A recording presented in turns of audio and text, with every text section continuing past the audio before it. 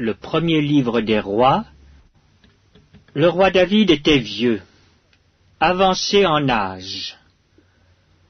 On le couvrait de vêtements et il ne pouvait se réchauffer. Ses serviteurs lui dirent que l'on cherche pour mon seigneur le roi une jeune fille vierge, qu'elle se tienne devant le roi, qu'elle le soigne, et qu'elle couche dans ton sein, et mon seigneur le roi se réchauffera. On chercha dans tout le territoire d'Israël une fille jeune et belle, et on trouva Abishag la Sunamite, que l'on conduisit auprès du roi. Cette jeune fille était fort belle. Elle soigna le roi et le servit, mais le roi ne la connut point. Adonijah, fils de Haggith, se laissa emporter par l'orgueil jusqu'à dire C'est moi qui serai roi. Il se procura un char et des cavaliers et cinquante hommes qui couraient devant lui. Son père ne lui avait fait de sa vie un reproche en lui disant Pourquoi agis-tu ainsi? Adonijah était en outre très beau de figure, et il était né après Absalom.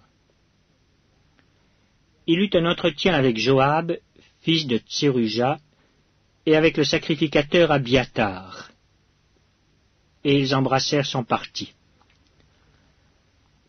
Mais le sacrificateur Tsadok, Benaja, fils de Jéhojada, Nathan le prophète, Shimei, Réi et les vaillants hommes de David ne furent point avec Adonijah. Adonijah tua des brebis, des bœufs et des veaux gras près de la pierre de Zoélet, qui est à côté d'Enrogel, et il invita tous ses frères, fils du roi, et tous les hommes de Juda au service du roi. Mais il n'invita point Nathan le prophète, ni Benaja, ni les vaillants hommes, ni Salomon son frère. Alors Nathan dit à Bathsheba, mère de Salomon, N'as-tu pas appris qu'Adonijah, fils de Agit, est devenu roi sans que notre Seigneur David le sache?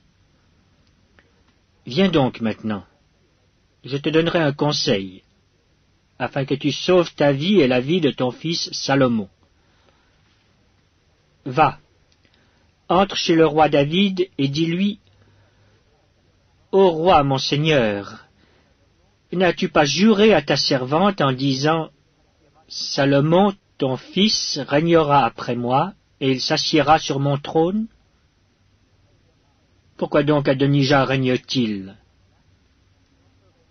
Et voici, pendant que tu parleras là avec le roi, j'entrerai moi-même après toi, et je compléterai tes paroles. Bathsheba se rendit dans la chambre du roi. Il était très vieux, et Abishag, la Sunamite, le servait. Bathsheba s'inclina et se prosterna devant le roi. Et le roi dit, Qu'as-tu? Elle lui répondit, Monseigneur, tu as juré à ta servante par l'Éternel, ton Dieu, en disant, Salomon ton fils régnera après moi, et il s'assiera sur mon trône. Et maintenant voici, Adonijah règne. Et tu ne le sais pas, ô roi mon seigneur. Il a tué des bœufs, des veaux gras et des brebis en quantité, et il a invité tous les fils du roi, le sacrificateur Abiatar et Joab chef de l'armée, mais il n'a point invité Salomon, ton serviteur.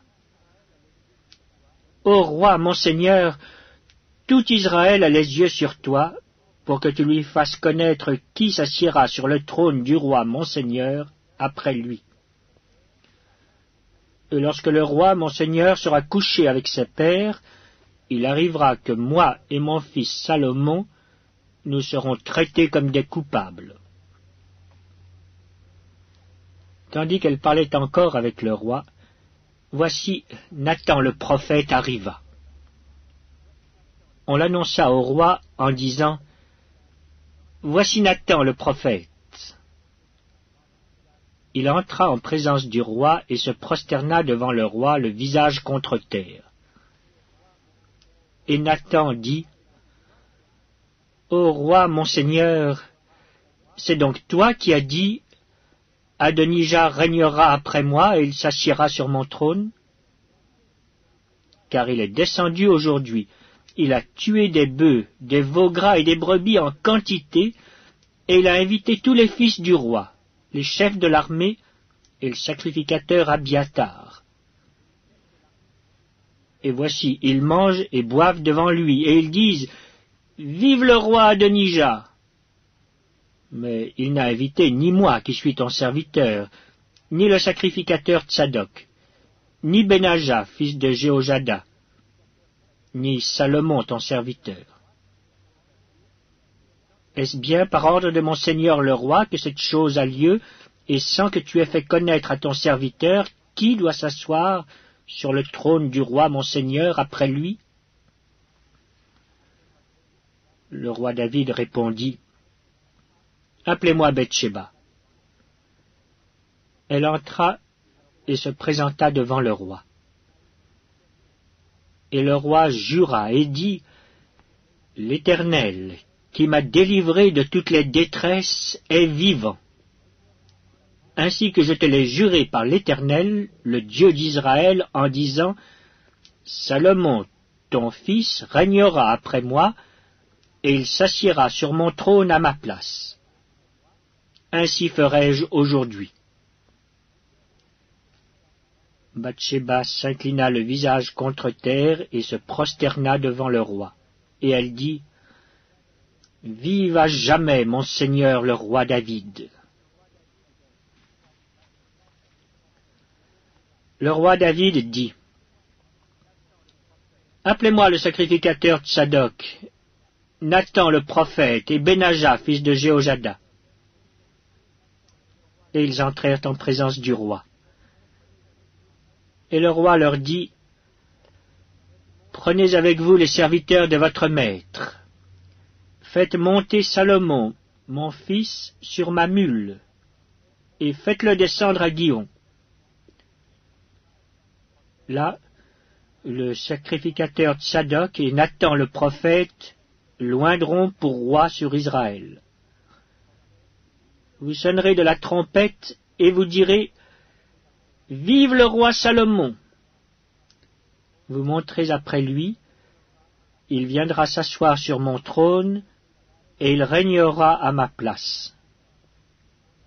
C'est lui qui, par mon ordre, sera chef d'Israël et de Juda. Benaja, fils de Joachada, répondit au roi, Amen. Ainsi disent l'Éternel, le Dieu de mon Seigneur le roi.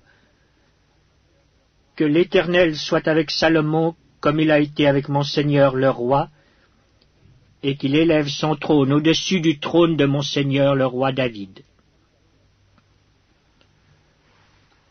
Alors le sacrificateur Tsadok descendit avec Nathan le prophète, Benaja, fils de Jéhojada, les Kérétiens et les Pélétiens, ils firent monter Salomon sur la mule du roi David, et ils le menèrent à Guillon.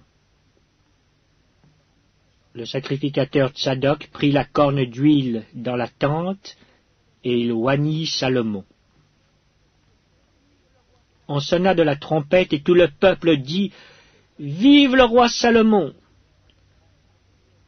Tout le peuple monta après lui, et le peuple jouait de la flûte et se livraient à une grande joie. La terre s'ébranlait par leurs cris. Ce bruit fut entendu d'Adonijah et de tous les conviés qui étaient avec lui, au moment où il finissait de manger. Joab, entendant le son de la trompette, dit Pourquoi ce bruit de la ville en tumulte? Il parlait encore lorsque Jonathan, fils du sacrificateur Abiatar, arriva. Et Adonijah dit, Approche, car tu es un vaillant homme, et tu apportes de bonnes nouvelles. Oui, répondit Jonathan à Adonijah, Notre Seigneur le roi David a fait Salomon roi. Il a envoyé avec lui le sacrificateur Tsadok, Nathan le prophète, Benaja, fils de Jéhojada, les Kérétiens et les Pélétiens, et il l'ont fait monter sur la mule du roi. Le sacrificateur Tsadok et Nathan le prophète l'ont oint pour roi à Guillon. De là ils sont remontés en se livrant à la joie, et la ville a été émue. C'est là le bruit que vous avez entendu. Salomon s'est même assis sur le trône royal. Et les serviteurs du roi sont venus pour bénir notre Seigneur le roi David en disant Que ton Dieu rende le nom de Salomon plus célèbre que ton nom, et qu'il élève son trône au-dessus de ton trône. Et le roi s'est prosterné sur son lit. Voici encore ce qu'a dit le roi. Béni soit l'Éternel, le Dieu d'Israël, qui m'a donné aujourd'hui un successeur sur mon trône et qui m'a permis de le voir. Tous les conviés d'Adonijah furent saisis d'épouvante. Ils se levèrent et s'en allèrent chacun de son côté. Adonijah eut peur de Salomon, il se leva aussi, s'en alla, et saisit les cornes de l'autel on vint dire à Salomon, Voici, Adonijah a peur du roi Salomon, et il a saisi les cornes de l'autel en disant, Que le roi Salomon me jure aujourd'hui qu'il ne fera point mourir son serviteur par l'épée. Salomon dit, S'il se montre un honnête homme, il ne tombera pas à terre un de ses cheveux mais s'il se trouve en lui de la méchanceté, il mourra. Et le roi Salomon envoya des gens qui le firent descendre de l'autel. Il vint se prosterner devant le roi Salomon, et Salomon lui dit, Va dans ta maison. Le premier livre des rois, chapitre 2, David approchait du moment de sa mort, et il donna ses ordres à Salomon son fils, en disant Je m'en vais par le chemin de toute la terre. Fortifie-toi et sois un homme. Observe les commandements de l'Éternel ton Dieu, en marchant dans ses voies et en gardant ses lois, ses ordonnances, ses jugements et ses préceptes, selon ce qui est écrit dans la loi de Moïse, afin que tu réussisses dans tout ce que tu feras et partout où tu te tourneras, et afin que l'Éternel accomplisse cette parole qu'il a prononcée sur moi. Si tes fils prennent garde à leur voie, en marchant avec fidélité devant moi, de tout leur cœur et de toute leur âme, tu ne manqueras jamais d'un successeur sur le trône d'Israël. Tu sais ce que m'a fait Joab, fils de Tseruja, ce qu'il a fait à deux chefs de l'armée d'Israël, à Abner, fils de Ner, et à Amasa, fils de Jéter. Il les a tués. Il a versé pendant la paix le sang de la guerre, et il a mis le sang de la guerre sur la ceinture qu'il avait au rein, et sur la chaussure qu'il avait aux pieds. Tu agiras selon ta sagesse, et tu ne laisseras pas ses cheveux blancs descendre en paix dans le séjour des morts. Tu traiteras avec bienveillance les fils de Barzilaï, le Gaaladite, et ils seront de ceux qui se nourrissent de ta table, car ils ont agi de la même manière à mon égard en venant au devant de moi lorsque je fuyais Absalom ton frère. Voici, tu as près de toi Shimei, fils de Guéra, benjamite de Bachurim. Il a prononcé contre moi des malédictions violentes le jour où j'allais à Mahanaïm. Mais il descendit à ma rencontre vers le Jourdain, et je lui jurai par l'Éternel en disant, Je ne te ferai point mourir par l'épée. Maintenant tu ne le laisseras pas impuni, car tu es un homme sage, et tu sais comment tu dois le traiter. Tu feras descendre ensanglanté ses cheveux blancs dans le séjour des morts. David se coucha avec ses pères, et il fut enterré dans la ville de David. Le temps que David régna sur Israël fut de quarante ans. À Hébron il régna sept ans, et à Jérusalem il régna trente-trois ans. Salomon s'assit sur le trône de David son père, et son règne fut très affermi. Adonijah, fils de Hagit, alla vers Bathsheba, mère de Salomon. Elle lui dit, Viens-tu dans des intentions paisibles? Il répondit, Oui. Et il ajouta, J'ai un mot à te dire. Elle dit, Parle. Et il dit, Tu sais que la royauté m'appartenait, et que tout Israël portait ses regards sur moi pour me faire régner mais la royauté a tourné, et elle est échue à mon frère parce que l'Éternel la lui a donnée. Maintenant, je te demande une chose, ne me la refuse pas. Elle lui répondit, Parle. Et il dit, Dis, je te prie, au roi Salomon, car il ne te le refusera pas, qu'il me donne pour femme Abishag la Sunamite, Bathsheba dit, Bien, je parlerai pour toi au roi. Bathsheba se rendit auprès du roi Salomon pour lui parler en faveur d'Adonijah.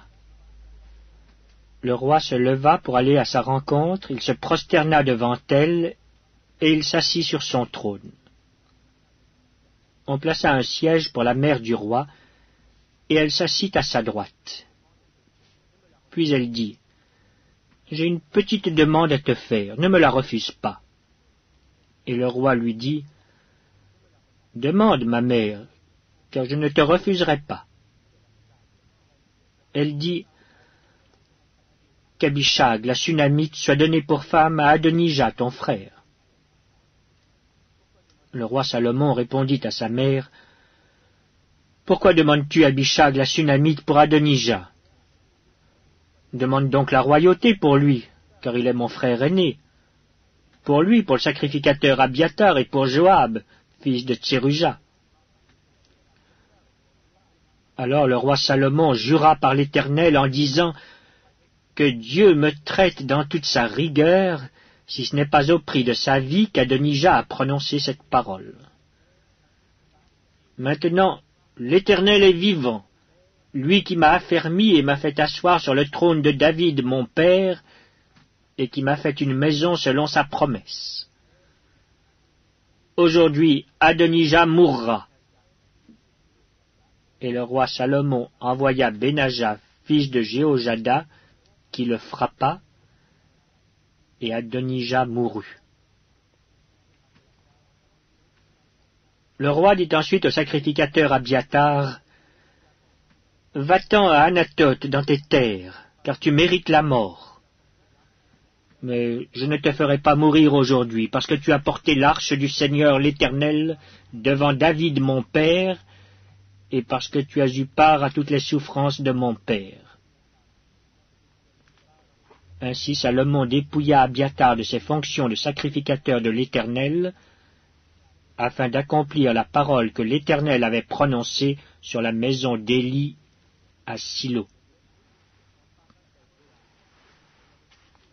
Le bruit en parvint à Joab, qui avait suivi le parti d'Adonijah, quoiqu'il n'eût pas suivi le parti d'Absalom. Et Joab se réfugia vers la tente de l'Éternel et saisit les cornes de l'autel. On annonça au roi Salomon que Joab s'était réfugié vers la tente de l'Éternel et qu'il était auprès de l'autel. Et Salomon envoya Benaja, fils de Jéhojada, en lui disant Va, frappe-le.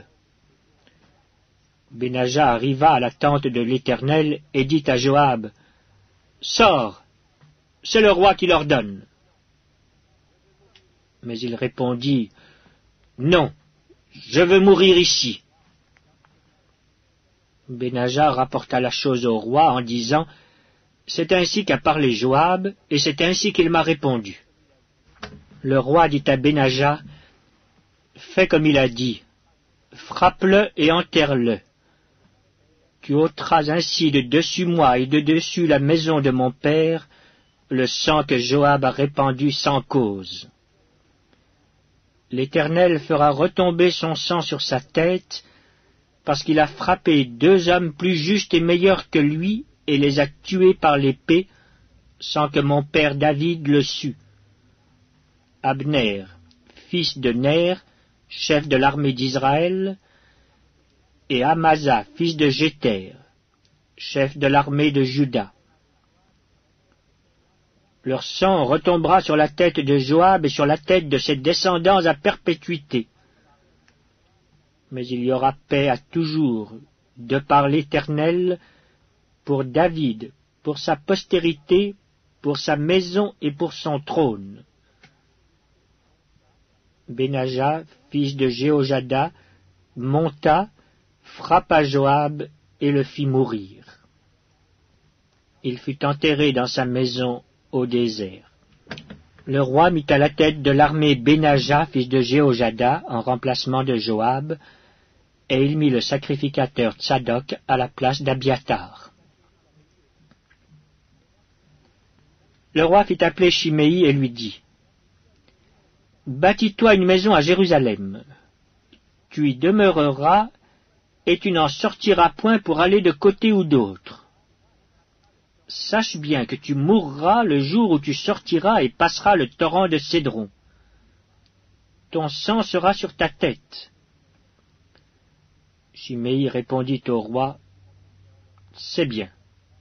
Ton serviteur fera ce que dit mon seigneur le roi. Et Chiméi demeura longtemps à Jérusalem. Au bout de trois ans, il arriva que deux serviteurs de Chiméi s'enfuirent chez Akish, fils de Maaka, roi de Gath. On le rapporta à Chiméi en disant Voici tes serviteurs sont à Gath. Chiméi se leva, sella son âne et s'en alla à Gath chez Akish pour chercher ses serviteurs. Chiméi donc s'en alla et il ramena de Gath ses serviteurs. On informa Salomon que Chiméi était allé de Jérusalem à Gath et qu'il était de retour. Le roi fit appeler Chiméi et lui dit Ne t'avais-je pas fait jurer par l'Éternel, et ne t'avais-je pas fait cette déclaration formelle? Sache bien que tu mourras le jour où tu sortiras pour aller de côté ou d'autre. Et ne m'as-tu pas répondu C'est bien, j'ai entendu? Pourquoi donc n'as-tu pas observé le serment de l'Éternel et l'ordre que je t'avais donné? Et le roi dit à Chiméi, Tu sais au-dedans de ton cœur tout le mal que tu as fait à David, mon père. L'Éternel fait retomber ta méchanceté sur ta tête. Mais le roi Salomon sera béni, et le trône de David sera pour toujours affermi devant l'Éternel. Et le roi donna ses ordres à Benaja, fils de Jéhojada, qui sortit et frappa Chiméi. Et Chiméi mourut. La royauté fut ainsi affermie entre les mains de Salomon. Le premier livre des rois, chapitre 3 Salomon s'allia par mariage avec Pharaon, roi d'Égypte il prit pour femme la fille de Pharaon, et il l'amena dans la ville de David, jusqu'à ce qu'il eût achevé de bâtir sa maison, la maison de l'Éternel, et le mur d'enceinte de Jérusalem. Le peuple ne sacrifiait que sur les hauts lieux, car jusqu'à cette époque il n'avait point été bâti de maison au nom de l'Éternel. Salomon aimait l'Éternel et suivait les coutumes de David son père. Seulement c'était sur les hauts lieux qu'il offrait des sacrifices et des parfums. Le roi se rendit à Gabaon pour y sacrifier, car c'était le principal des hauts lieux. Salomon offrit mille holocaustes sur l'autel. À Gabaon, l'Éternel apparut en songe à Salomon pendant la nuit, et Dieu lui dit, Demande ce que tu veux que je te donne. Salomon répondit, Tu as traité avec une grande bienveillance ton serviteur David, mon père, parce qu'il marchait en ta présence dans la fidélité, dans la justice et dans la droiture de cœur envers toi tu lui as conservé cette grande bienveillance, et tu lui as donné un fils qui est assis sur son trône, comme on le voit aujourd'hui. Maintenant, Éternel mon Dieu, tu as fait régner ton serviteur à la place de David mon père. Et moi, je ne suis qu'un jeune homme, je n'ai point d'expérience. Ton serviteur est au milieu du peuple que tu as choisi, peuple immense et qui ne peut être ni compté, ni nombré à cause de sa multitude. Accorde donc à ton serviteur un cœur intelligent pour juger ton peuple, pour discerner le bien du mal. Car qui pourrait juger ton peuple, ce peuple si nombreux?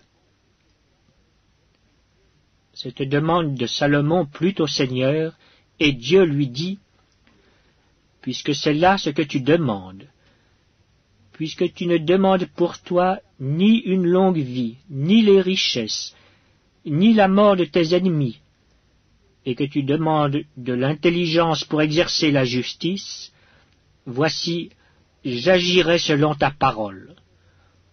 Je te donnerai un cœur sage et intelligent, de telle sorte qu'il n'y aura eu personne avant toi, et qu'on ne verra jamais personne de semblable à toi je te donnerai en outre ce que tu n'as pas demandé, des richesses et de la gloire, de telle sorte qu'il n'y aura pendant toute ta vie aucun roi qui soit ton pareil. Et si tu marches dans mes voies, en observant mes lois et mes commandements comme l'a fait David ton père, je prolongerai tes jours. Salomon s'éveilla, et voilà le songe. Salomon revint à Jérusalem et se présenta devant l'arche de l'alliance de l'Éternel. Il offrit des holocaustes et des sacrifices d'action de grâce, et il fit un festin à tous ses serviteurs. Alors deux femmes prostituées vinrent chez le roi et se présentèrent devant lui. L'une des femmes dit, Pardon, mon Seigneur, moi et cette femme nous demeurions dans la même maison, et je suis accouché près d'elle dans la maison. Trois jours après, cette femme est aussi accouchée. Nous habitions ensemble. Aucun étranger n'était avec nous dans la maison, il n'y avait que nous deux. Le fils de cette femme est mort pendant la nuit parce qu'elle s'était couchée sur lui. Elle s'est levée au milieu de la nuit, elle a pris mon fils à mes côtés tandis que ta servante dormait, et elle l'a couché dans son sein. Et son fils qui était mort, elle l'a couché dans mon sein. Le matin, je me suis levé pour allaiter mon fils, et voici il était mort. Je l'ai regardé attentivement le matin, et voici, ce n'était pas mon fils que j'avais enfanté. L'autre femme dit, Au contraire, c'est mon fils qui est vivant et c'est ton fils qui est mort. Mais la première répliqua, Nullement, c'est ton fils qui est mort et c'est mon fils qui est vivant. C'est ainsi qu'elles parlèrent devant le roi. Le roi dit, L'une dit, c'est mon fils qui est vivant et c'est ton fils qui est mort, et l'autre dit, Nullement, c'est ton fils qui est mort et c'est mon fils qui est vivant. Puis il ajouta, Apportez-moi une épée. On apporta une épée devant le roi. Et le roi dit, Coupez en deux l'enfant qui vit, et donnez-en la moitié à l'une et la moitié à l'autre. Alors la femme dont le fils était vivant sentit ses entrailles s'émouvoir pour son fils, et elle dit au roi, Ah, mon Seigneur, donnez-lui l'enfant qui vit et ne le faites point mourir. Mais l'autre dit, Il ne sera ni à moi ni à toi, coupez-le. Et le roi, prenant la parole, dit Donnez à la première l'enfant qui vit et ne le faites point mourir, c'est elle qui est sa mère. Tout Israël apprit le jugement que le roi avait prononcé, et l'on craignit le roi, car on vit que la sagesse de Dieu était en lui pour le diriger dans ses jugements. Le premier livre des rois, chapitre 4 Le roi Salomon était roi sur tout Israël. Voici les chefs qu'il avait à son service. Azaria, fils du sacrificateur Tsadok. Elioref et Achija, fils de Shisha, étaient secrétaires. Josaphat, fils d'Achilud, était archiviste. Benaja, fils de Jéhojada, commandait l'armée. Tsadok et Abiatar étaient sacrificateurs. Azaria, fils de Nathan, était chef des intendants. Zabud, fils de Nathan, était ministre d'État, favori du roi. Achishar était chef de la maison du roi, et Adoniram, fils d'Abda, était préposé sur les impôts. Salomon avait douze intendants sur tout Israël. Il pourvoyait à l'entretien du roi et de sa maison, chacun pendant un mois de l'année. Voici leurs noms. Le fils de Hur, dans la montagne d'Éphraïm. Le fils de Deker à Makatz, à Salbim, à Beth-Shemesh, à Elon et à Beth-Anan. Le fils de Ezed à Arubot. Il avait Soko et tout le pays de Hépher. Le fils d'Abidadab avait toute la contrée de Dor. Tafat, fille de Salomon, était sa femme. Baana, fils d'Achilud, avait Tahanak et Megiddo, et tout Beth-Shean, qui est près de Tsartan, au-dessous de Gisraël, depuis Beth-Shean jusqu'à Abel-Méola, jusqu'au-delà de Jokmeam. Le fils de Géber, à Ramoth en Galaad. Il avait les bourgs de Jaïr, fils de Manassé, en Galaad.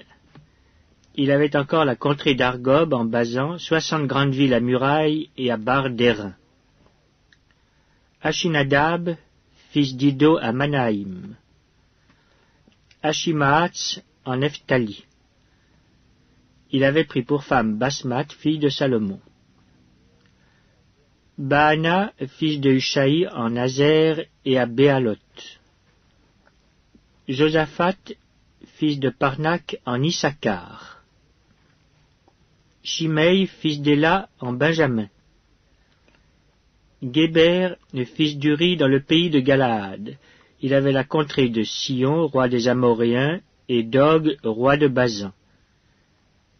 Il y avait un seul intendant pour ce pays. Judas et Israël étaient très nombreux, pareils au sable qui est sur le bord de la mer. Ils mangeaient, buvaient et se réjouissaient. Salomon dominait encore sur tous les royaumes, depuis le fleuve jusqu'au pays des Philistins et jusqu'à la frontière d'Égypte. Ils apportaient des présents, et ils furent assujettis à Salomon tout le temps de sa vie. Chaque jour, Salomon consommait en vivres trente corps de fleurs de farine et soixante corps de farine, dix bœufs gras, vingt bœufs de pâturage et cent brebis, outre les cerfs, les gazelles, les daims et les volailles engraissées.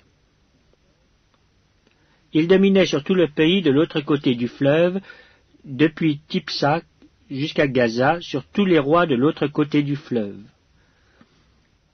Et il avait la paix de tous les côtés alentours. Judas et Israël, depuis Dan jusqu'à Beersheba, habitèrent en sécurité, chacun sous sa vigne et sous son figuier, tout le temps de Salomon. Salomon avait quarante mille crèches pour les chevaux destinés à ses chars et douze mille cavaliers. les intendants pourvoyaient à l'entretien du roi Salomon et de tous ceux qui s'approchaient de sa table, chacun pendant son mois.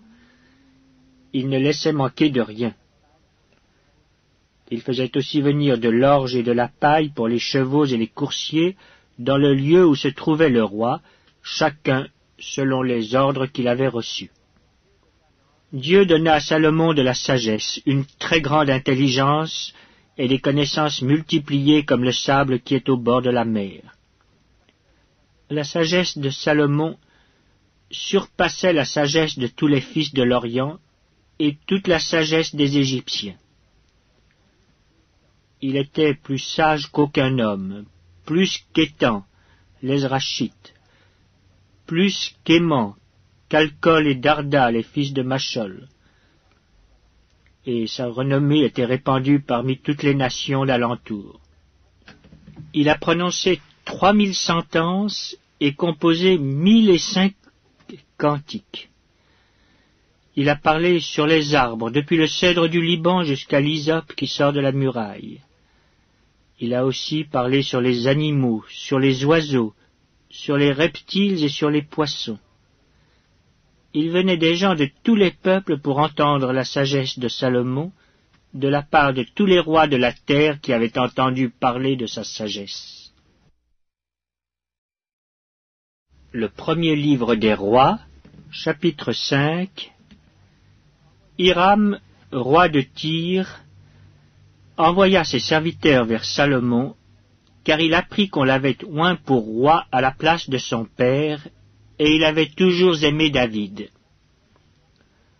Salomon fit dire à Hiram, Tu sais que David, mon père, n'a pas pu bâtir une maison à l'Éternel, son Dieu, à cause des guerres dont ses ennemis l'ont enveloppé jusqu'à ce que l'Éternel les eût mis sous la plante de ses pieds.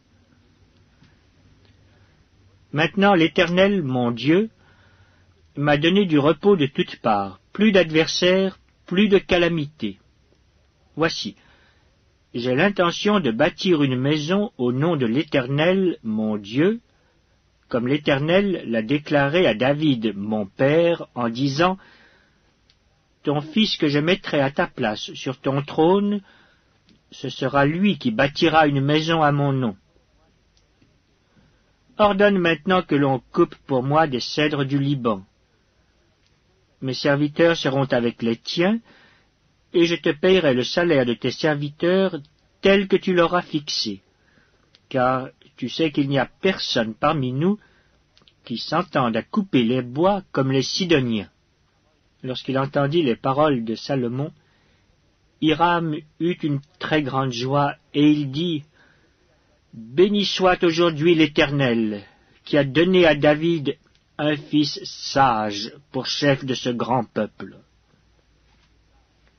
Et Hiram fit répondre à Salomon, J'ai entendu ce que tu m'as envoyé dire. Je ferai tout ce qui te plaira au sujet des bois de cèdre et des bois de cyprès. Mes serviteurs les descendront du Liban à la mer, et je les expédierai par mer en radeau jusqu'au lieu que tu m'indiqueras. Là, je les ferai délier, et tu les prendras. Ce que je désire en retour, c'est que tu fournisses des vivres à ma maison. Hiram donna à Salomon des bois de cèdre et des bois de cyprès autant qu'il en voulut. Et Salomon donna à Hiram vingt mille corps de froment pour l'entretien de sa maison, et vingt corps d'huile d'olive concassée. C'est ce que Salomon donna chaque année à Hiram. L'Éternel donna de la sagesse à Salomon, comme il le lui avait promis. Et il y eut paix entre Hiram et Salomon, et ils firent alliance ensemble le roi Salomon leva sur tout Israël des hommes de corvée, ils étaient au nombre de trente mille. Il les envoya au Liban, dix mille par mois alternativement. Ils étaient un mois au Liban et deux mois chez eux. Adoniram était préposé sur les hommes de corvée. Salomon avait encore soixante-dix mille hommes qui portaient les fardeaux et quatre-vingt mille qui taillaient les pierres dans la montagne, sans compter les chefs, au nombre de trois mille trois cents, préposés par Salomon sur les travaux et chargés de surveiller les ouvriers. Le roi ordonna d'extraire de grandes et magnifiques pierres de taille pour les fondements de la maison. Les ouvriers de Salomon, ceux de Hiram et les Ghibliens les taillèrent, et ils préparèrent les bois et les pierres pour bâtir la maison. Le premier livre des rois, chapitre 6 Ce fut la 480e année après la sortie des enfants d'Israël du pays d'Égypte que Salomon bâtit la maison à l'Éternel. La quatrième année de son règne sur Israël, au mois de Ziv, qui est le second mois. La maison que le roi Salomon bâtit à l'Éternel avait soixante coudées de longueur, vingt de largeur et trente de hauteur. Le portique devant le temple de la maison avait vingt coudées de longueur, répondant à la largeur de la maison, et dix coudées de profondeur sur la face de la maison. Le roi fit à la maison des fenêtres solidement grillées. Il bâtit contre le mur de la maison des étages circulaires qui entouraient les murs de la maison, le temple et le sanctuaire. Et il fit des chambres latérales tout autour. L'étage inférieur était large de cinq coudées, celui du milieu de six coudées, et le troisième de sept coudées, car il ménagea des retraites à la maison tout autour en dehors, afin que la charpente n'entrât pas dans les murs de la maison.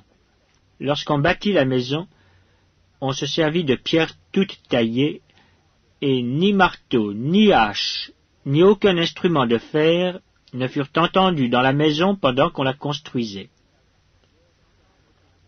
L'entrée des chambres de l'étage inférieur était au côté droit de la maison.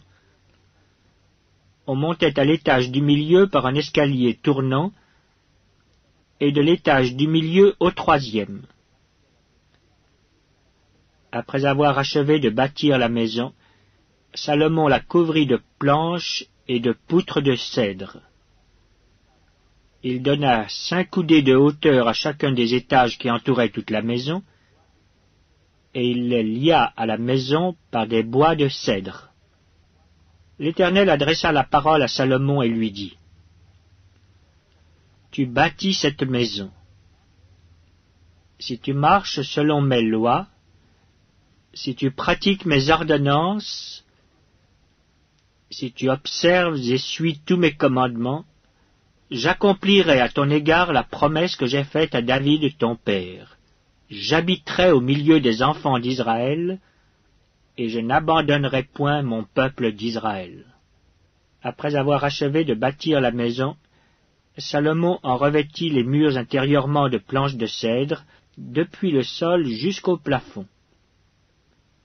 Il revêtit ainsi de bois l'intérieur, et il couvrit le sol de la maison de planches de cyprès. Il revêtit de planches de cèdre les vingt coudées du fond de la maison, depuis le sol jusqu'au haut des murs, et il réserva cet espace pour en faire le sanctuaire, le lieu très saint. Les quarante coudées sur le devant formaient la maison, c'est-à-dire le temple.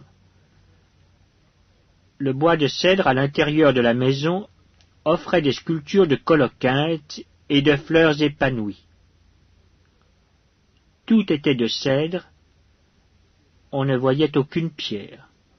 Salomon établit le sanctuaire intérieurement au milieu de la maison pour y placer l'arche de l'alliance de l'Éternel. Le sanctuaire avait vingt coudées de longueur, vingt coudées de largeur et vingt coudées de hauteur.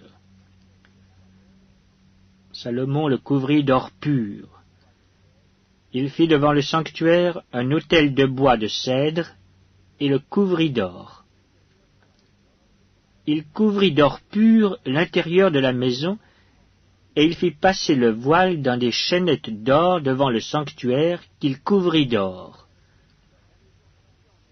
il couvrit d'or toute la maison, la maison tout entière. Et il couvrit d'or l'autel qui était devant le sanctuaire. Il fit dans le sanctuaire deux chérubins de bois d'olivier sauvage, ayant dix coudées de hauteur. Chacune des deux ailes de l'un des chérubins avait cinq coudées, ce qui faisait dix coudées de l'extrémité d'une de ses ailes à l'extrémité de l'autre.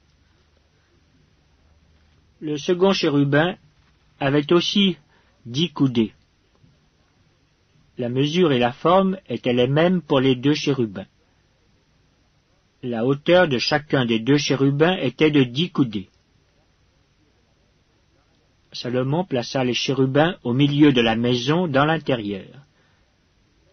Leurs ailes étaient déployées.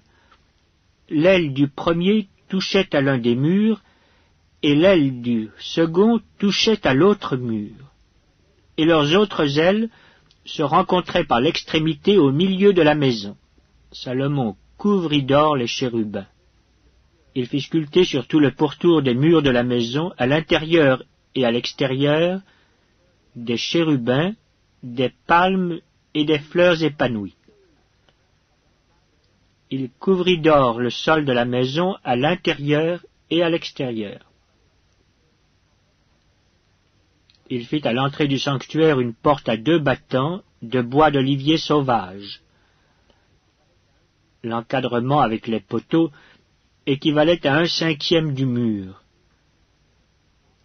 Les deux battants étaient de bois d'olivier sauvage. Il y fit sculpter des chérubins, des palmes et des fleurs épanouies, et il les couvrit d'or. Il étendit aussi l'or sur les chérubins et sur les palmes. Il fit de même pour la porte du temple des poteaux de bois d'olivier sauvage ayant le quart de la dimension du mur et deux battants de bois de cyprès. Chacun des battants était formé de deux planches brisées. Il y fit sculpter des chérubins, des palmes et des fleurs épanouies, et il les couvrit d'or qu'il étendit sur la sculpture.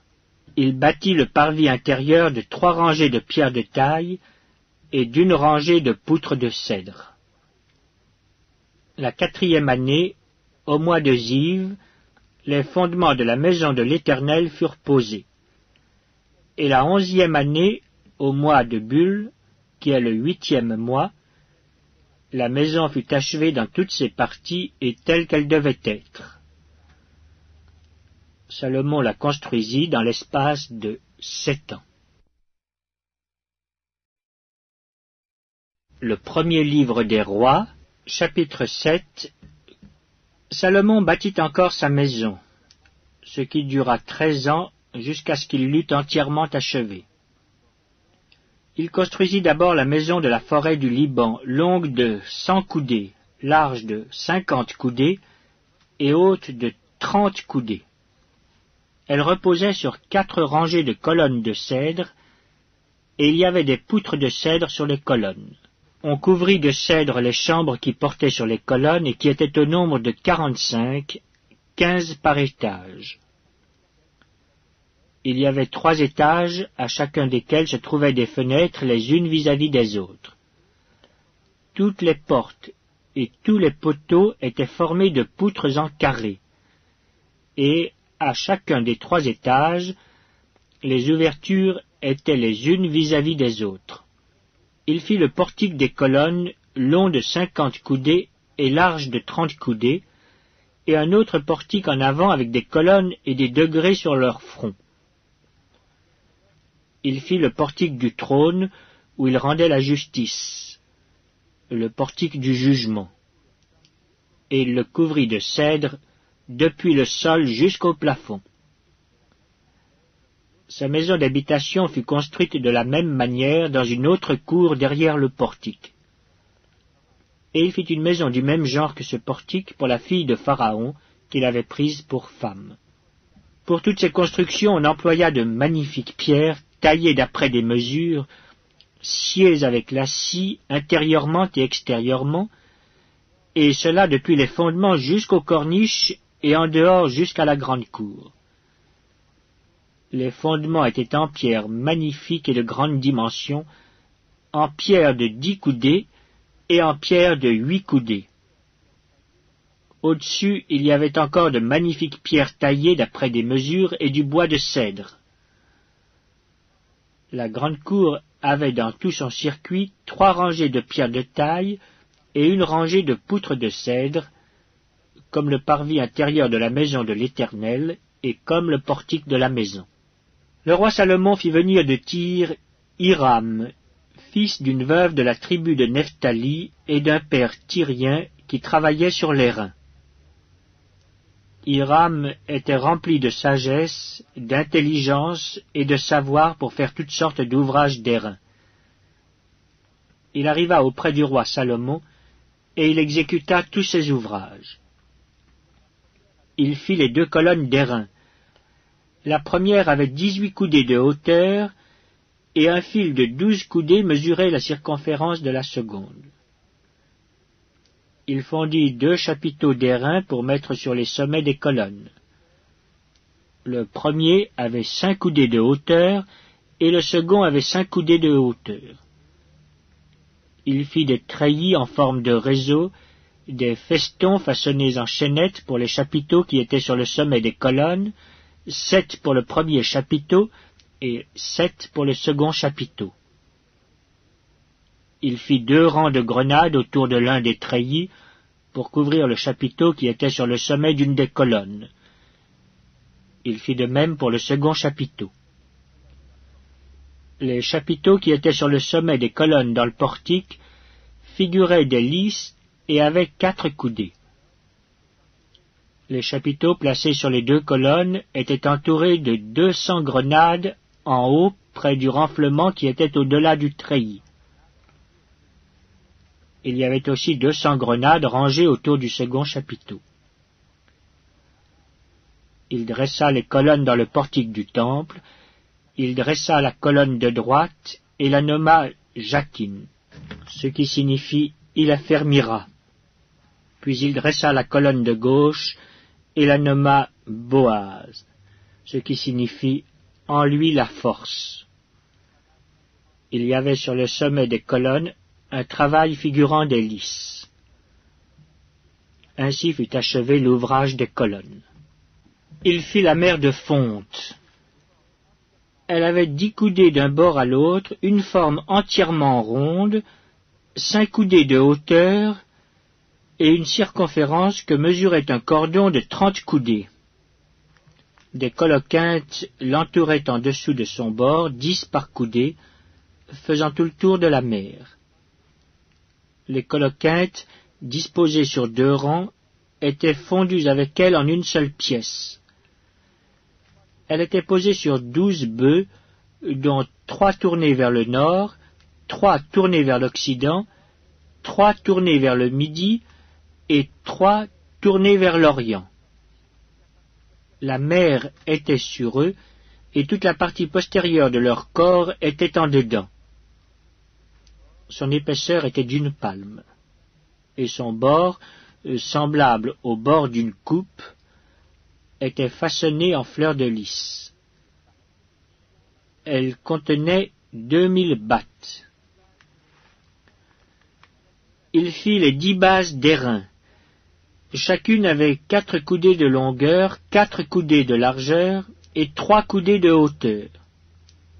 Voici en quoi consistaient ces bases. Elles étaient formées de panneaux liés au coin par des montants.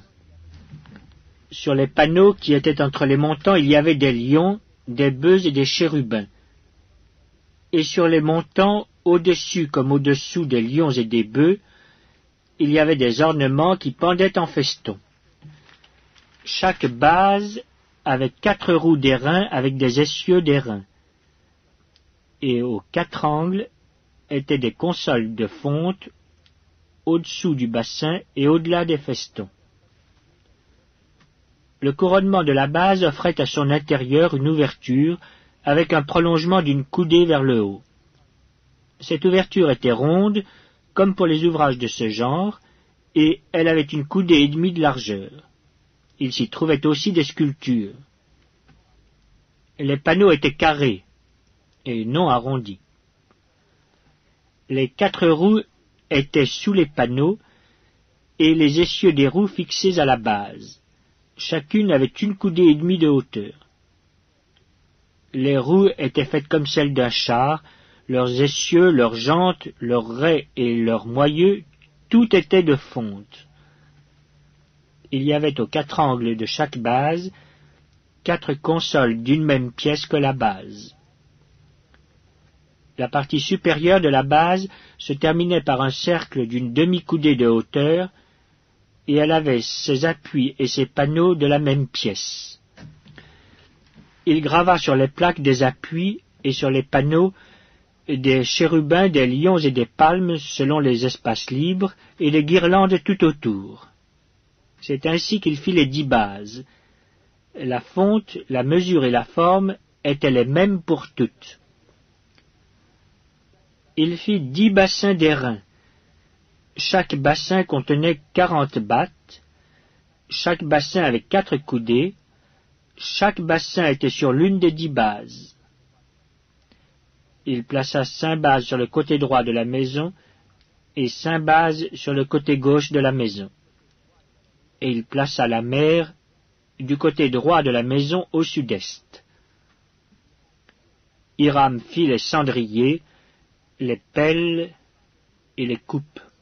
Ainsi Hiram acheva tout l'ouvrage que le roi Salomon lui fit faire pour la maison de l'Éternel deux colonnes avec les deux chapiteaux et leurs bourrelets sur le sommet des colonnes, les deux treillis pour couvrir les deux bourrelets des chapiteaux sur le sommet des colonnes, les quatre cents grenades pour les deux treillis, deux rangées de grenades par treillis pour couvrir les deux bourrelets des chapiteaux sur le sommet des colonnes, les dix bases et les dix bassins sur les bases, la mer et les douze bœufs sous la mer, les cendriers, les pelles et les coupes tous ces ustensiles que le roi Salomon fit faire à Hiram pour la maison de l'Éternel étaient d'airain poli. Le roi les fit fondre dans la plaine du Jourdain dans un sol argileux entre Sukkot et Tsartan. Salomon laissa tous ces ustensiles sans vérifier le poids de l'airain, parce qu'ils étaient en très grande quantité. Salomon fit encore tous les autres ustensiles pour la maison de l'Éternel, l'autel d'or, la table d'or sur laquelle on mettait les pains de proposition, les chandeliers d'or pur, cinq à droite et cinq à gauche devant le sanctuaire, avec les fleurs, les lampes et les mouchettes d'or, les bassins, les couteaux, les coupes, les tasses et les brasiers d'or pur, et les gonds d'or pur pour la porte de l'intérieur de la maison à l'entrée du lieu très saint, et pour la porte de la maison à l'entrée du temple. Ainsi fut achevé tout l'ouvrage que le roi Salomon fit pour la maison de l'Éternel. Puis il apporta l'argent, l'or et les ustensiles que David son père avait consacrés, et il les mit dans les trésors de la maison de l'Éternel. Le premier livre des rois, Chapitre 8 Alors le roi Salomon assembla près de lui, à Jérusalem, les anciens d'Israël et tous les chefs des tribus, les chefs des familles des enfants d'Israël, pour transporter de la cité de David, qui est Sion, l'arche de l'alliance de l'Éternel. Tous les hommes d'Israël se réunirent auprès du roi Salomon au mois d'Étanim, qui est le septième mois, pendant la fête. Lorsque tous les anciens d'Israël furent arrivés, les sacrificateurs portèrent l'arche. Ils transportèrent l'arche de l'Éternel, la tente d'assignation, et tous les ustensiles sacrés qui étaient dans la tente. Ce furent les sacrificateurs et les Lévites qui les transportèrent. Le roi Salomon et toute l'assemblée d'Israël, convoqués auprès de lui, se tinrent devant l'arche ils sacrifièrent des brebis et des bœufs qui ne purent être ni comptés ni nombrés à cause de leur multitude. Les sacrificateurs portèrent l'arche de l'alliance de l'Éternel à sa place, dans le sanctuaire de la maison, dans le lieu très saint, sous les ailes des chérubins. Car les chérubins avait les ailes étendues sur la place de l'arche, et il couvrait l'arche et ses barres par-dessus. On avait donné aux barres une longueur telle que leurs extrémités se voyaient du lieu saint devant le sanctuaire, mais ils ne se voyaient point du dehors. Elles ont été là jusqu'à ce jour.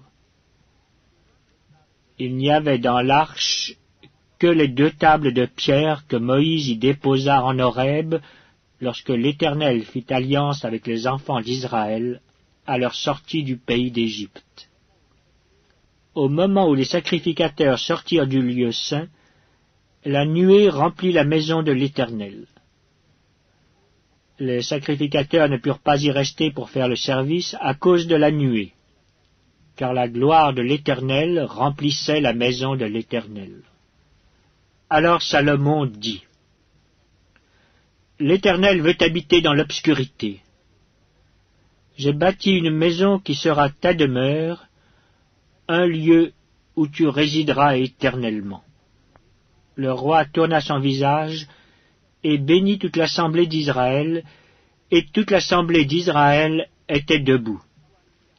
Et il dit, Béni soit l'Éternel, le Dieu d'Israël, qui a parlé de sa bouche à David, mon père, et qui accomplit par sa puissance ce qu'il avait déclaré en disant, depuis le jour où j'ai fait sortir d'Égypte mon peuple d'Israël, je n'ai point choisi de ville parmi toutes les tribus d'Israël pour qu'il y fût bâti une maison où résida mon nom.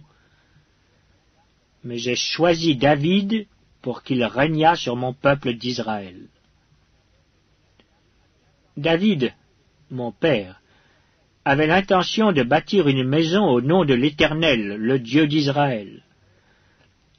Et l'Éternel dit à David, mon père, Puisque tu as eu l'intention de bâtir une maison à mon nom, tu as bien fait d'avoir eu cette intention.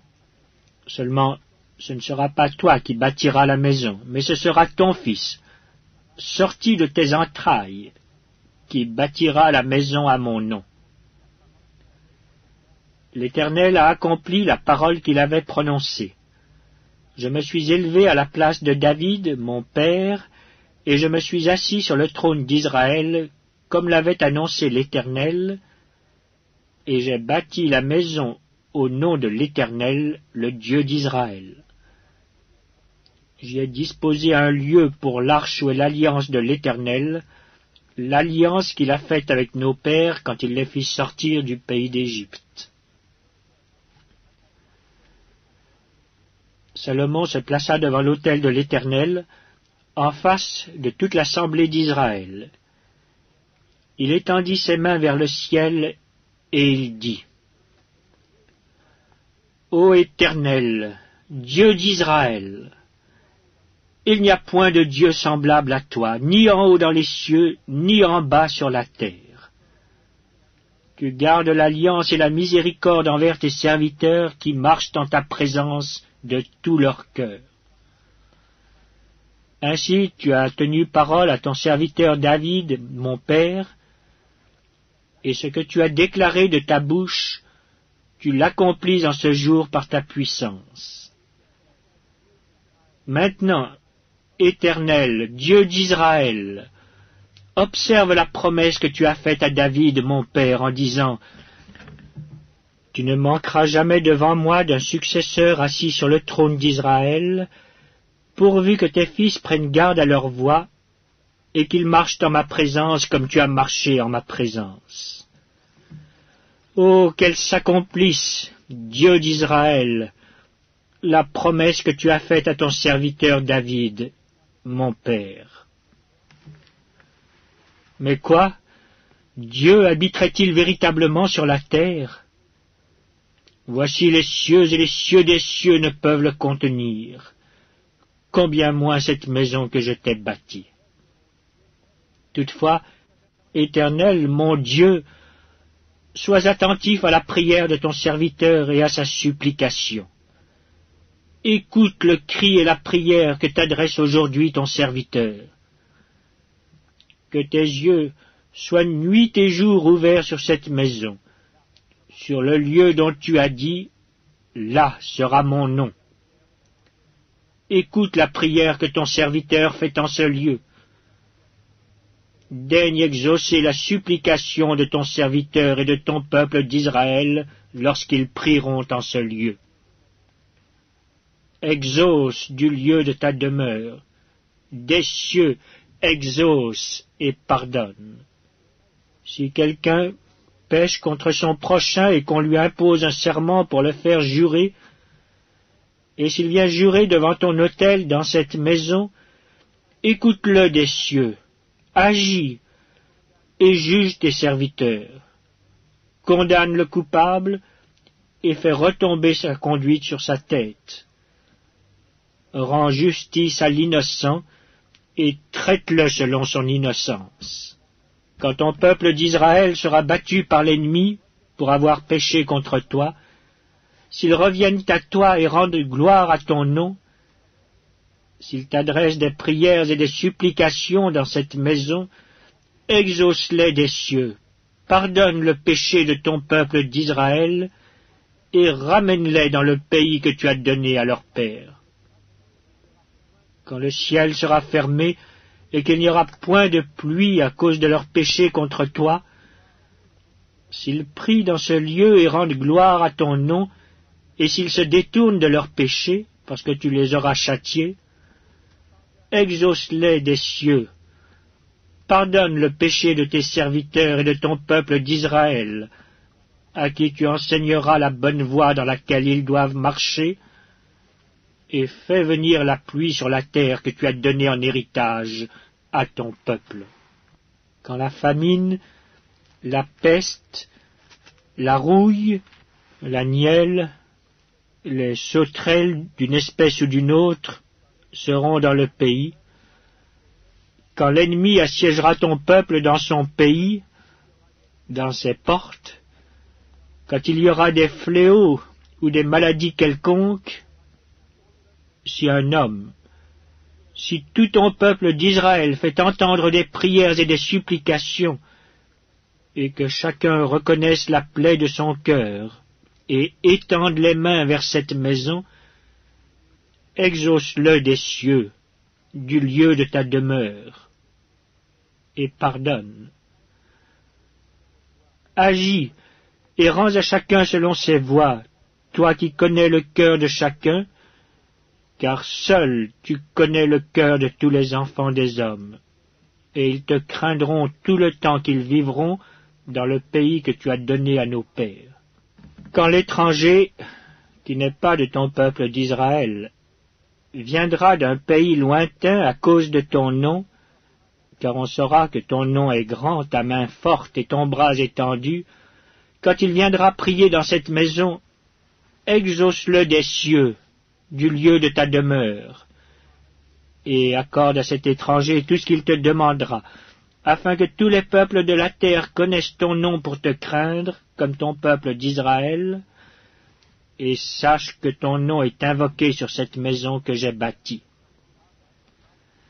Quand ton peuple sortira pour combattre son ennemi en suivant la voie que tu lui auras prescrite, s'ils adressent à l'Éternel des prières, les regards tournés vers la ville que tu as choisie et vers la maison que j'ai bâtie à ton nom, exauce des cieux leurs prières et leurs supplications, et fais leur droit quand ils pécheront contre toi, car il n'y a point d'homme qui ne pêche, quand tu seras irrité contre eux et que tu les livreras à l'ennemi, qui les emmènera captifs dans un pays ennemi, lointain ou rapproché, s'ils rentrent en eux-mêmes dans le pays où ils seront captifs, s'ils reviennent à toi et t'adressent des supplications dans le pays de ceux qui les ont emmenés et qu'ils disent nous avons péché, nous avons commis des iniquités, nous avons fait le mal, s'ils reviennent à toi de tout leur cœur et de toute leur âme, dans le pays de leurs ennemis qui les ont emmenés captifs, s'ils t'adressent des prières, les regards tournés vers leur pays que tu as donné à leur père, vers la ville que tu as choisie, et vers la maison que j'ai bâtie à ton nom, exauce des cieux, du lieu de ta demeure, leurs prières et leurs supplications, et fais leur droit. Pardonne à ton peuple ses péchés et toutes ses transgressions contre toi. Excite la compassion de ceux qui les retiennent captifs, afin qu'ils aient pitié d'eux, car ils sont ton peuple et ton héritage, et tu les as fait sortir du pays d'Égypte, du milieu d'une fournaise de fer. Que tes yeux soient ouverts sur la supplication de ton serviteur et sur la supplication de ton peuple d'Israël pour les exaucer en tout ce qu'ils te demanderont. Car tu les as séparés de tous les autres peuples de la terre pour en faire ton héritage, comme tu l'as déclaré par Moïse, ton serviteur, quand tu fis sortir d'Égypte nos pères, Seigneur éternel. Lorsque Salomon eut achevé d'adresser à l'Éternel toute cette prière et cette supplication, il se leva de devant l'autel de l'Éternel où il était agenouillé, les mains étendues vers le ciel. Debout, il bénit à haute voix toute l'assemblée d'Israël en disant Béni soit l'Éternel qui a donné du repos à son peuple d'Israël selon toutes ses promesses. De toutes les bonnes paroles qu'il avait prononcées par Moïse son serviteur, aucune n'est restée sans effet. Que l'Éternel notre Dieu soit avec nous, comme il a été avec nos pères. Qu'il ne nous abandonne point, et ne nous délaisse point, mais qu'il incline nos cœurs vers lui, afin que nous marchions dans toutes ses voies, et que nous observions ses commandements, ses lois et ses ordonnances qu'il a prescrites à nos pères. Que ces paroles, objet de mes supplications devant l'Éternel, soient jour et nuit présentes à l'Éternel notre Dieu, et qu'il fasse en tout temps droit à son serviteur et à son peuple d'Israël, afin que tous les peuples de la terre reconnaissent que l'Éternel est Dieu et qu'il n'y en a point d'autre. Que votre cœur soit tout à l'Éternel, notre Dieu, comme il l'est aujourd'hui, pour suivre ses lois et pour observer ses commandements. Le roi et tout Israël avec lui offrirent des sacrifices devant l'Éternel. Salomon immola vingt-deux mille bœufs et cent vingt mille brebis pour le sacrifice d'action de grâce qu'il offrit à l'Éternel. Ainsi le roi et tous les enfants d'Israël firent la dédicace de la maison de l'Éternel. En ce jour, le roi consacra le milieu du parvis qui est devant la maison de l'Éternel car il offrit là les holocaustes, les offrandes et les graisses des sacrifices d'action de grâce, parce que l'autel d'airain qui est devant l'Éternel était trop petit pour contenir les holocaustes, les offrandes et les graisses des sacrifices d'action de grâce. Salomon célébra la fête en ce temps-là, et tout Israël avec lui. Une grande multitude, venue depuis les environs de Hamath jusqu'au torrent d'Égypte, s'assembla devant l'Éternel notre Dieu pendant sept jours et sept autres jours, soit quatorze jours. Le huitième jour il renvoya le peuple. Et ils bénirent le roi, et s'en allèrent dans leur tente, joyeux et le cœur content pour tout le bien que l'Éternel avait fait à David son serviteur, et à Israël son peuple. Le premier livre des rois, chapitre 9 Lorsque Salomon eut achevé de bâtir la maison de l'Éternel, la maison du roi, et tout ce qu'il lui plut de faire, l'Éternel apparut à Salomon une seconde fois, comme il lui était apparu à Gabaon. Et l'Éternel lui dit, J'exauce ta prière et ta supplication que tu m'as adressée, je sanctifie cette maison que tu as bâtie pour y mettre à jamais mon nom, et j'aurai toujours là mes yeux et mon cœur.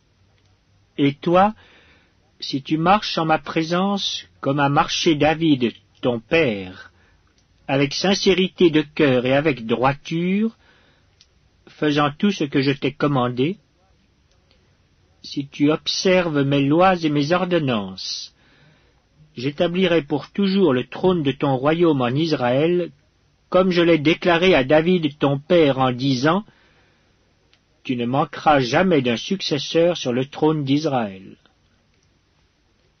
Mais, si vous vous détournez de moi, vous et vos fils, si vous n'observez pas mes commandements, mes lois que je vous ai prescrites, et si vous allez servir d'autres dieux et vous prosterner devant eux, j'exterminerai Israël du pays que je lui ai donné. Je rejetterai loin de moi la maison que j'ai consacrée à mon nom, et Israël sera un sujet de sarcasme et de raillerie parmi tous les peuples.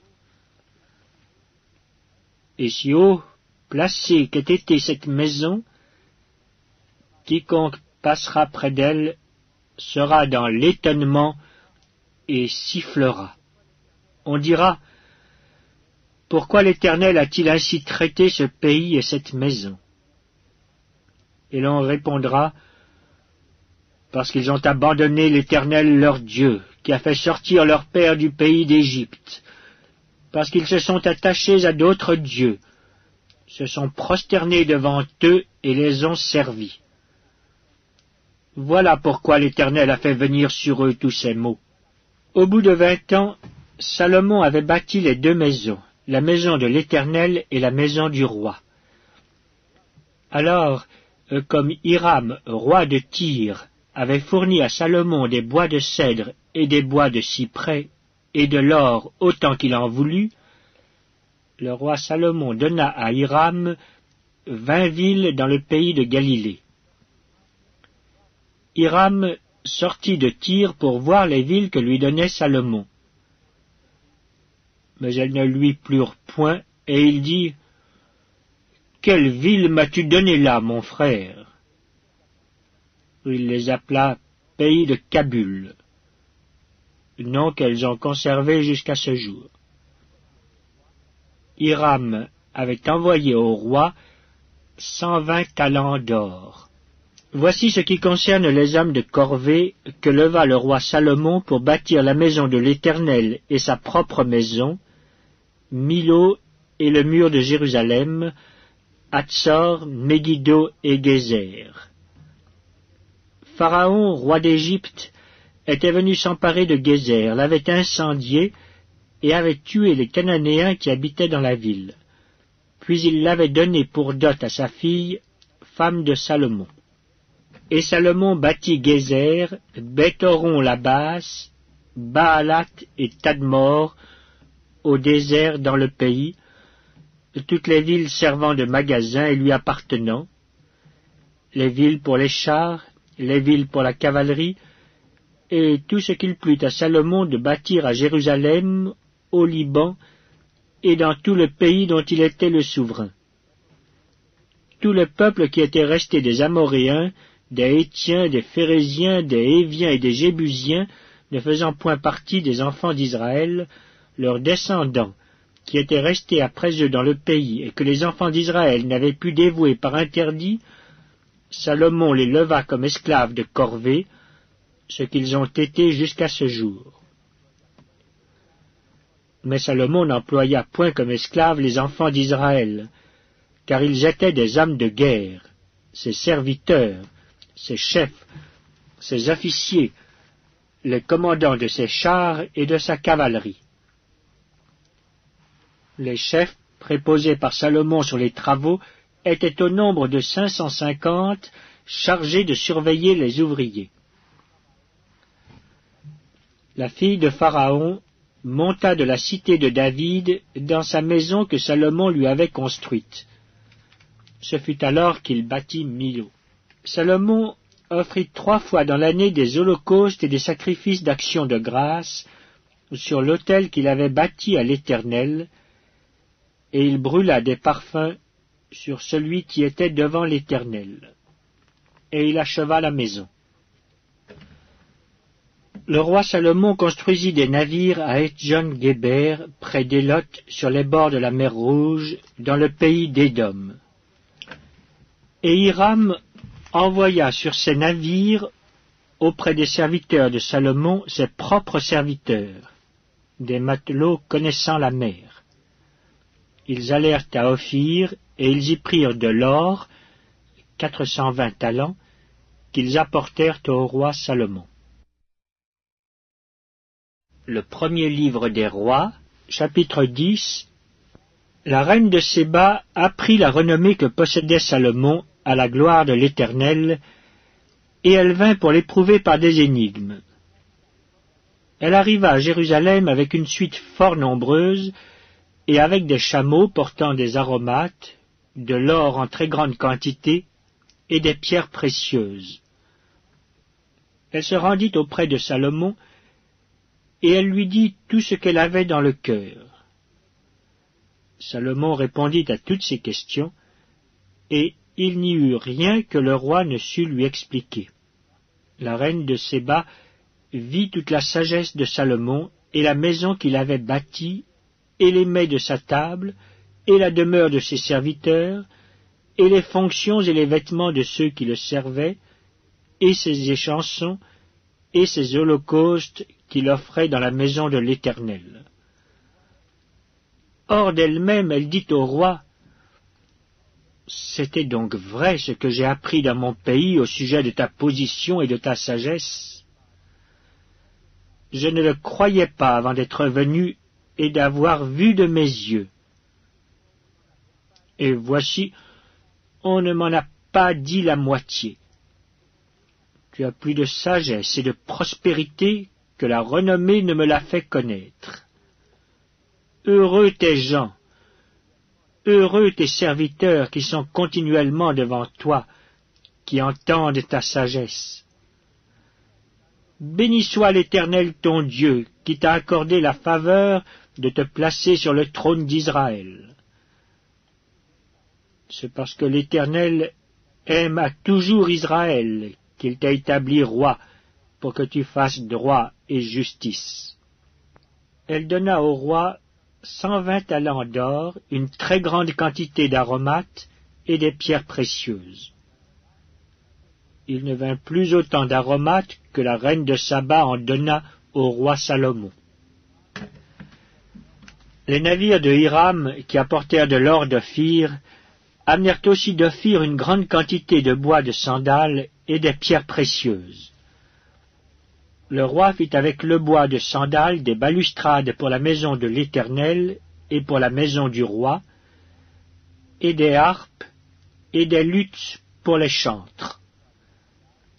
Il ne vint plus de ce bois de sandales, et on n'en a plus vu jusqu'à ce jour. Le roi Salomon donna à la reine de Séba tout ce qu'elle désira, ce qu'elle demanda, et lui fit en outre des présents dignes d'un roi tel que Salomon. Puis elle s'en retourna et alla dans son pays, elle et ses serviteurs. Le poids de l'or qui arrivait à Salomon chaque année était de six cent soixante-six talents d'or. Outre ce qu'il retirait des négociants et du trafic des marchands, de tous les rois d'Arabie et des gouverneurs du pays. Le roi Salomon fit deux cents grands boucliers d'or battu, pour chacun desquels il employa six cents cycles d'or, et trois cents autres boucliers d'or battu, pour chacun desquels il employa trois mines d'or. Et le roi les mit dans la maison de la forêt du Liban. Le roi fit un grand trône d'ivoire et le couvrit d'or pur ce trône avait six degrés, et la partie supérieure en était arrondie par derrière. Il y avait des bras de chaque côté du siège. Deux lions étaient près des bras, et douze lions sur les six degrés de part et d'autre. Il ne s'est rien fait de pareil pour aucun royaume. Toutes les coupes du roi Salomon étaient d'or, et toute la vaisselle de la maison de la forêt du Liban était d'or pur. Rien n'était d'argent. On n'en faisait aucun cas du temps de Salomon. car le roi avait en mer des navires de Tarsis avec ceux de Hiram. Et tous les trois ans arrivaient les navires de Tarsis, apportant de l'or et de l'argent, de l'ivoire, des singes et des pans. Le roi Salomon fut plus grand que tous les rois de la terre par les richesses et par la sagesse. Tout le monde cherchait à voir Salomon pour entendre la sagesse que Dieu avait mise dans son cœur. Et chacun apportait son présent, des objets d'argent et des objets d'or, des vêtements, des armes, des aromates, des chevaux et des mulets. Et il en était ainsi chaque année. Salomon rassembla des chars et de la cavalerie. Il avait quatorze cents chars et douze mille cavaliers qu'il plaça dans les villes où il tenait ses chars et à Jérusalem près du roi. Le roi rendit l'argent aussi commun à Jérusalem que les pierres, et les cèdres aussi nombreux que les sycomores qui croissent dans la plaine. C'était de l'Égypte que Salomon tirait ses chevaux. Une caravane de marchands du roi les allait chercher par troupes à un prix fixe. Un char montait et sortait d'Égypte pour six cents cycles d'argent et un cheval pour cent cinquante cycles. Ils en amenaient de même avec eux pour tous les rois des Hétiens et pour les rois de Syrie. Le premier livre des rois, chapitre 11 Le roi Salomon aima beaucoup de femmes étrangères, outre la fille de Pharaon, des Moabites, des Ammonites, des Édomites, des Sidoniennes, des Étiennes, appartenant aux nations dont l'Éternel avait dit aux enfants d'Israël, Vous n'irez point chez elles, et elles ne viendront point chez vous. Elles tourneraient certainement vos cœurs du côté de leur Dieu. Ce fut à ces nations que s'attacha Salomon, entraîné par l'amour. Il eut sept cents princesses pour femmes et trois cents concubines et ces femmes détournèrent son cœur. À l'époque de la vieillesse de Salomon, ces femmes inclinèrent son cœur vers d'autres dieux, et son cœur ne fut point tout entier à l'Éternel son Dieu, comme l'avait été le cœur de David son père. Salomon alla après Astarté, divinité des Sidoniens, et après Milcom, l'abomination des Ammonites. Et Salomon fit ce qui est mal aux yeux de l'Éternel, et il ne suivit point pleinement l'Éternel comme David son père. Alors Salomon bâtit sur la montagne qui est en face de Jérusalem un haut lieu pour Kémosh, l'abomination de Moab, et pour Moloch, l'abomination des fils d'Amon et il fit ainsi pour toutes ces femmes étrangères qui offraient des parfums et des sacrifices à leurs dieux. L'Éternel fut irrité contre Salomon parce qu'il avait détourné son cœur de l'Éternel, le Dieu d'Israël, qui lui était apparu deux fois. Il lui avait à cet égard défendu d'aller après d'autres dieux. Mais Salomon n'observa point les ordres de l'Éternel. Et l'Éternel dit à Salomon, Puisque tu as agi de la sorte, et que tu n'as point observé mon alliance et mes lois que je t'avais prescrites, je déchirerai le royaume de dessus toi, et je le donnerai à ton serviteur. Seulement je ne le ferai point pendant ta vie, à cause de David ton père. C'est de la main de ton fils que je l'arracherai. Je n'arracherai cependant pas tout le royaume. Je laisserai une tribu à ton fils à cause de David mon serviteur, et à cause de Jérusalem que j'ai choisi. L'Éternel suscita un ennemi à Salomon, Hadad, l'Édomite, de la race royale d'Édom. Dans le temps où David bâtit Édom, Joab, chef de l'armée, étant monté pour enterrer les morts, tua tous les mâles qui étaient en Édom. Il y resta six mois avec tout Israël, jusqu'à ce qu'il en eût exterminé tous les mâles. Ce fut alors qu'Adad prit la fuite avec des Édomites, serviteurs de son père, euh, pour se rendre en Égypte. Hadad était encore un jeune garçon. Partis de Madian, ils allèrent à Paran, prirent avec eux des hommes de Paran, et arrivèrent en Égypte auprès de Pharaon, roi d'Égypte. Pharaon donna une maison à Hadad, pourvut à sa subsistance, et lui accorda des terres. Hadad trouva grâce aux yeux de Pharaon, à tel point que Pharaon lui donna pour femme la sœur de sa femme, la sœur de la reine Tachpénès. La sœur de Tachpénès lui enfanta son fils Genubat. Tachpénès le sevra dans la maison de Pharaon, et Genubat fut dans la maison de Pharaon, au milieu des enfants de Pharaon lorsque Hadad apprit en Égypte que David était couché avec ses pères, et que Joab, chef de l'armée, était mort, il dit à Pharaon, Laisse-moi aller dans mon pays. Et Pharaon lui dit, Que te manque-t-il auprès de moi pour que tu désires aller dans ton pays? Il répondit, Rien, mais laisse-moi partir. Dieu suscita un autre ennemi à Salomon. Rezon, fils d'Eliada, qui s'était enfui de chez son maître Adadézer, roi de Tsoba. Il avait rassemblé des gens auprès de lui, et il était chef de bande lorsque David massacra les troupes de son maître. Ils allèrent à Damas et s'y établirent, et ils régnèrent à Damas. Il fut un ennemi d'Israël pendant toute la vie de Salomon, en même temps qu'Adad lui faisait du mal, et il avait Israël en aversion. Il régna sur la Syrie. Jéroboam aussi, serviteur de Salomon, leva la main contre le roi.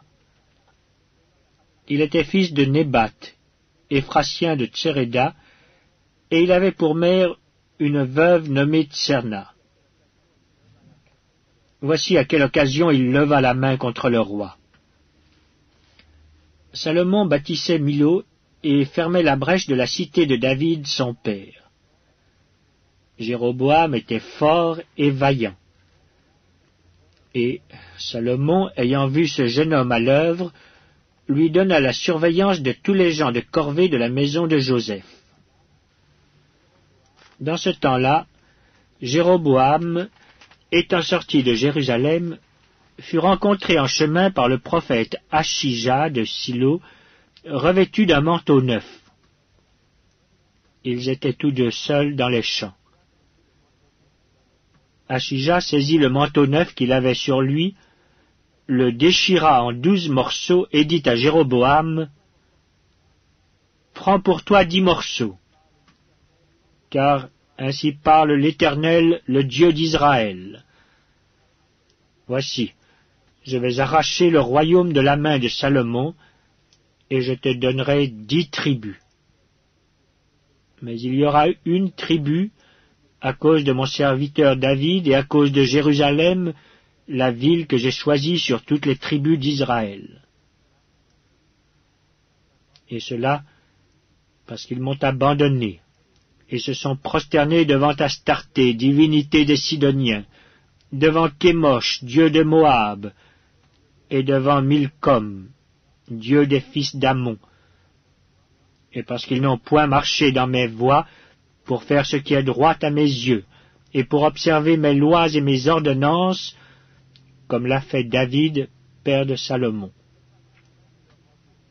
Je n'ôterai pas de sa main tout le royaume, car je le maintiendrai prince tout le temps de sa vie, à cause de David mon serviteur, que j'ai choisi et qui a observé mes commandements et mes lois. Mais j'ôterai le royaume de la main de son fils, et je t'en donnerai dix tribus. Je laisserai une tribu à son fils, afin que David, mon serviteur, ait toujours une lampe devant moi, à Jérusalem, la ville que j'ai choisie pour y mettre mon nom. Je te prendrai, et tu régneras sur tout ce que ton âme désirera. Tu seras roi d'Israël.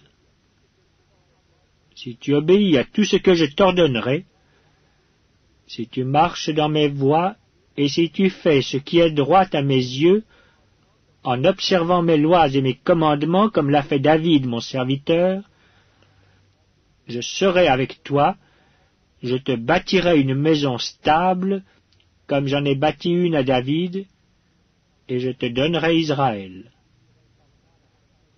J'humilierai par là la postérité de David, mais ce ne sera pas pour toujours. Salomon chercha à faire mourir Jéroboam, Jéroboam se leva et s'enfuit en Égypte auprès de Shishak, roi d'Égypte. Il demeura en Égypte jusqu'à la mort de Salomon.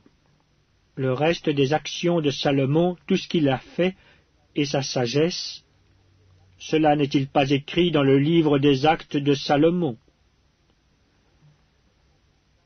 Salomon régna quarante ans à Jérusalem sur tout Israël. Puis Salomon se coucha avec ses pères, et il fut enterré dans la ville de David son père. Roboam son fils régna à sa place.